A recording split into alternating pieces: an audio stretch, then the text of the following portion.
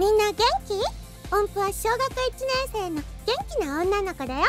今日は音符がテストで100点取ったご褒美にママとお寿司屋さんに行くんだ。はーい。ママとお寿司楽しみ。お店のネタ全部食べちゃうもんね。今から行くお寿司屋さんはパパとママが何年か前にも行ったことがあってね。すごく美味しくておすすめなんだよ。ワクワクしてきた早速入ろっか。ごめんください。たママここ人の家じゃないよね。ああ。なんだ？こんな真っ昼間から親子で。あの前の大将と違うな変わったのかな？詐欺だ詐欺だって変わった名前だな。お寿司を食べに来たんだよ。大太郎サーモンウニください私はカッパ巻きをこいつら絶対金持ってねえだろ見ただけでわかるぜああおたくらはうちの客じゃないんで帰った帰った本気たちお客さんだよそそうですどうせ母子家庭の貧乏人なんだろうちは高級寿司屋なんだよあんたらみたいなやつが来る店じゃねえのうちは母子家庭じゃありませんよ。それに母子家庭だから貧乏っていうのは偏見ではそうだよ。お客さんにひどいこと言っちゃダメちゃギャンギャンうるせえな。音符の言う通りです。お客様は神様ですよ。だよママそれはお客さんが言うことじゃないって。テレビで言ってたよ。母親のボケボケっぷりから見ても高級店にふさわしい教養あるご家庭とは思えねえなお前らみたいなやつは高級店であるうちの品格を下げるんだよ。この後大手企業の会食予定も入ってて忙しいんだ。帰れ。え本当に追い返されちゃった。お寿司食べてないのに。数年前に来た時はこんなお店じゃなかったんだけど。もしかしたら私がお店を間違えたのかも。大将も違う人だったし。一度家に帰ってパパに確認しよう。ん。家に帰ってパパに相談したんだけど。あ？いや確かにあのお店で合ってるよ。俺と奏が一緒に行ったお寿司屋さんだよな。うやっぱり間違ってなかったんだ。おかしいな。まさか私がカッパ巻きなんて頼んだから？カッパなんて仕入れてねえよ！みたいに怒っちゃった？お寿司屋さんの大将がそんなわけないよママ結局寿司が食べられなかったなんて残念だったな。代わりに高級寿司のデリバリー取ろうか。最近別の店で始まったらしいんだ。音符大太郎サーモンウニ100おいおいそりゃ頼みすぎだ。ほんと気持ちはわかるけど食べられる分だけにしようね。お店では食べられなかったけどパパのおかげでお家で美味しいお寿司がいっぱいそしてまた別の日。今日は大人気だって噂のケーキバイキングに行こうね。この前のお寿司屋さんは残念だったけど今度こそ音符のお祝いにいっぱい食べよ音符ケーキならいくらでも食べられちゃうよ。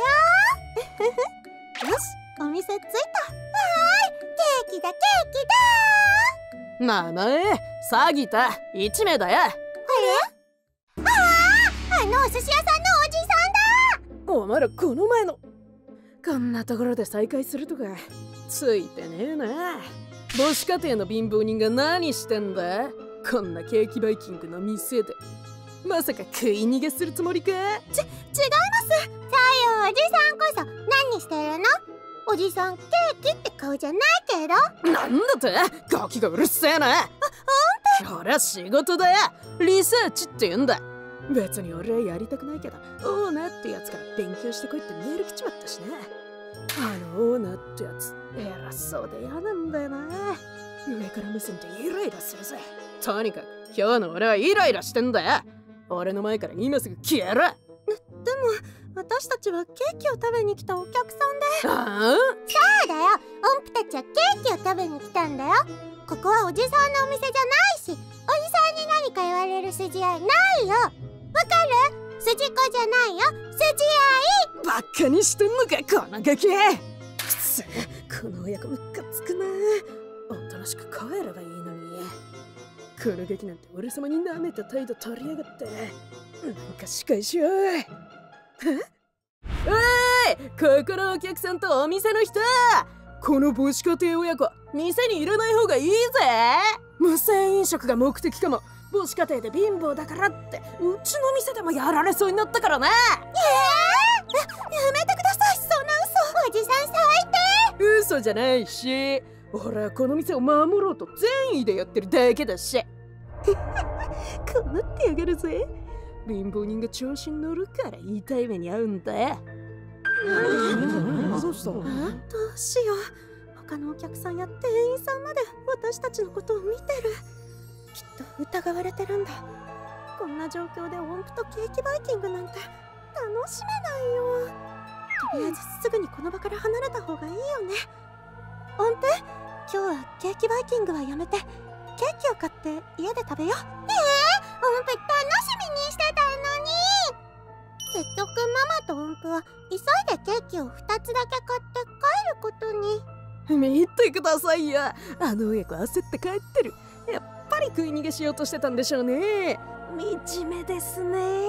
あんな親を持つ娘がかわいそうだ。音符は家に帰っても詐欺だっておじさんへのイライラが止まらなかった。ひどいよ。音符たち食い逃げなんてしようとしてないのに。全部あのおじさんの嘘なのに。ごめんね音符ママがきちんと言い返せればよかったのに。音符がケーキバイキングをすごく楽しみにしてたの知ってたのに。違うよ。ママは何にも悪くない。悪いのはあの寿司屋のおじさんだよ。ありがとう音符バイキングじゃなくなっちゃったけど。ケーキ食べよっか。うん分け合いっこしよう。ほんともうあのおじさんのお寿司屋さんなんて行ってあげないんだからね。もっともっと美味しいお寿司屋さんに行くんだから。ふんふん。てたんだけど。数日後また詐欺田さんのお店に来ることになってしまった。ななんか見た目からして嫌な感じがしちゃうのは偏見かな？音符全然テンション上がらない。下げぽよ。でもアルト君にどうしてもこの食べ放題に行ってきてほしいってお願いされちゃったからね。数日前に始まったらしいけどでもアルト君は今回は大丈夫なはずって言ってたな。もうあのおじさんの顔見たくない。あもしかしたら前の大将に戻ったのかも。そうかな。パパのことだから何か考えがあるんだと思うけど。ごめんください。だからママそれは人のうちに上がる時の挨拶だよ。はいいらっしゃいお前らこの前の貧乏母子家庭親子は。懲りずに何しに来たんだ？よお前らに食わせるものなんてねえって言っただろ。母子家庭も貧乏も間違ってるし親子しか会ってないよおじいさん。俺は仕込みで忙しいんだとっとと帰れ。これ食べ放題の料金です。1人1万円なので2人で2万円。はあ？アルト君に言われた通り先にお金を払っちゃえば食い逃げさせるなんて思われない。お金は払ったんですから私たちにもお寿司を食べる権利がありますよね。なんだよ。本当に金持ってんのかよ。でもこいつらにネタ食わせるのもったいねえな。金持ちの知り合いなんて連れてきそうもねえし。そうだ。あの作戦を使えばいいんじゃね？そうすればネタは減らないしこの2万円も俺の懐に入れてもバレないんじゃ。それじゃあ空いてる席にどうぞ。アルト君の言う通りにしたらうまくいった。さすがアルト君。お金先に払わないと通してくれないって。やっぱり音符たちのこと疑ってるじゃん。気を取り直して。ウニイクラサーモンマグロはいお待ち。あ音符？お寿司が来たよ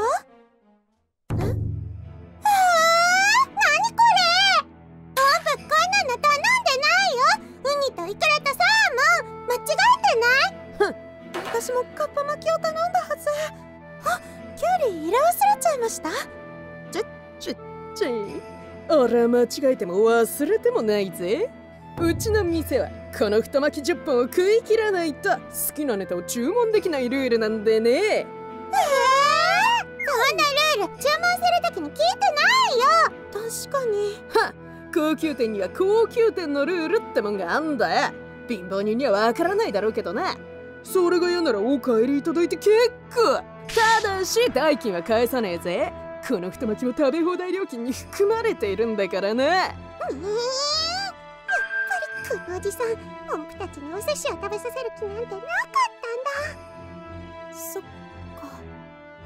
それならしょうがないね。一皿目はかっぱ巻きが良かったけど。いただきます。あー。うん、うん、おいしい酢飯と海苔だけでも全然食べれちゃうね。はい。1本目終了。次は2本目。いただきます。うんうんうんうん。はい。3本目も美味しくいただきました。貧乏だった頃のことを考えると。何でも美味しく食べられるな。いやいやお前どんだけ食べるんだよ。その体のどこにそんなに入ってくんだ。まさかお前大食いフードファイターだったのか？フードファイター？ええただの専業主婦ですが。ええー、見たかおじさん音符のママすごいんだからこんな太巻き全然食べれちゃうもんね。いやいやお前も母親の食いっぷりにちょっと引いてんじゃねえかよし太巻き10本ごちそうさまでした。はーいママすごい。ねえここいつ本当に食い終わっちまった。正気かよ。まずい。こいつらがこのまま食べ放題なんてしたら。やっぱりお前が勝手なことをしてたんだな。え？だ誰だお前お前？俺はこの店のオーナーだよ。おオーナー？来てくれたの？あ音符奏で。待たせて悪かったな。パパパ？まさかお前たちオーナーの家族だったのか？ままさかこの親子がオーナーの家族だったなんて。もっと金持ち感あるやつじゃないのか？ま俺の顔を知らないのも無理はないかもな。ここはフランチャイズだし社長の俺が店に顔を出す機会は少ないし。いやそんなことより太巻き完食しないと注文できないなんてシステム。俺は設定した覚えはないぞ。何勝手なことをしてるんだ！すする食べ放題の接客を学ぶためにすっごく食べ放題の評価が高いケーキバイキングにも行ってもらったのに。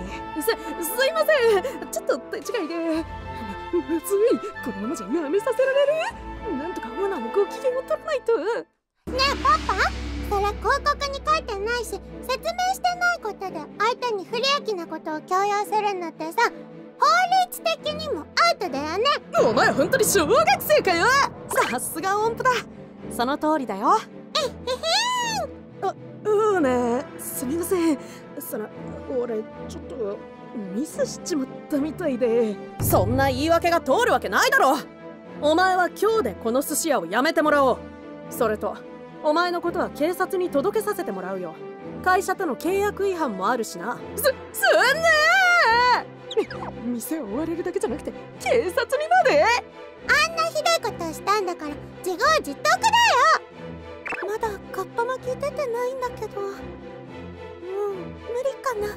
あれだけ太巻き食べてたのにまだ入るの？意地悪なギ田さんはお店を辞めることになって警察にも逮捕されちゃったんだって。その後あのお寿司屋さんには前の大将さんが戻ってきた。うんやっぱり美味しい。このかっぱ巻き最サギタさんにお店を追い出されちゃったらしいんだけどパパが呼び戻したんだって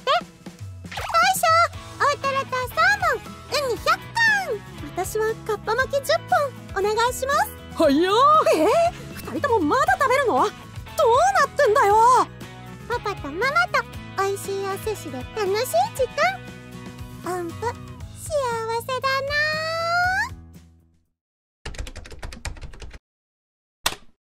音符だよ。アルトです動画を最後まで見てくれてどうもありがとうママって昔から金がなくてもやしとか水で腹を満たしてた気がするんだが量は食ってたのか。その反動で食べてるんだね。よかったらみんな動画の感想をコメント欄で教えてくれよ。グッドボタンチャンネル登録ベルマークの通知もオンにしてこれからも応援よろしくね。また次の動画で会おうぜ